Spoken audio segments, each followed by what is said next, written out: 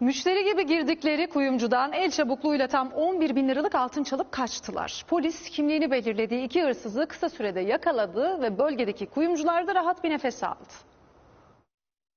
Adamlar çok profesyoneller açıkçası. Soğukkanlılıkla gerçekten nasıl götürdüklerini ancak kamerada gördük. Müşteri gibi geldiler, kuyumcuyu oyalayıp ceplerini altınlarla doldurdular. Çok rahat davranıyorlar. Şaşırıp kaldık açıkçası. Rahatlıklarıyla pes dedirttiler. Yaklaşık 10 bin liralık zincir bir de bir kolye ucu o da bin liralık bir şey. Onu alıp gittiler. Hırsızların hedefinde bu kez küçük çekmecedeki bir kuyumcu dükkanı vardı. Hırsızlar biri kadın iki kişiydi. Müşteri gibi kuyumcu dükkanına geldiler ve zincir almak istediklerini söylediler.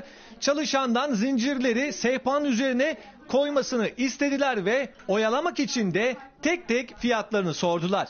Çıkarttırıyor bu zincirleri, fiyatlarını tek tek soruyor. Amaç başka tabii, hırsızlık yapmak için. Hırsızlar harekete geçmek için en uygun zamanı kolladılar. Kuyumcu çalışanı alttaki bileklikleri almaya çalıştığı sırada harekete geçtiler. Buradan zincirleri tek tek kopardılar. 10 tanesini alıp cebine koydular ancak bununla da yetinmediler. Buradan 10 tane zincir aldıktan sonra gitmiyor. Bu sefer kolye ucunu biz çıkarttığımızda oradan da bir iki parçayı almış götürmüşler. Hırsızlar ellerini kollarını sallaya sallaya kuyumcu dükkanından çıkıp gitti. Şöyle diyorlar, biz şu zincirlerden birkaç tanesini beğendik. Bunları ayırın, biz geleceğiz. Güvenlik kamerası da var.